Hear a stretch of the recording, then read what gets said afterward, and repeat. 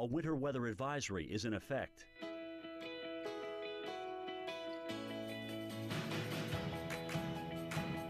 Currently in our area, 29 degrees under cloudy skies.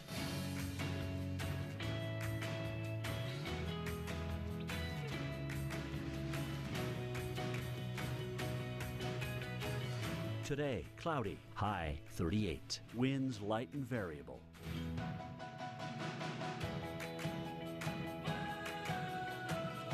Tonight, snow showers overnight, low 27. Snow accumulations less than one inch. Tuesday, snow changing to rain, high 35. Here's our seven day outlook.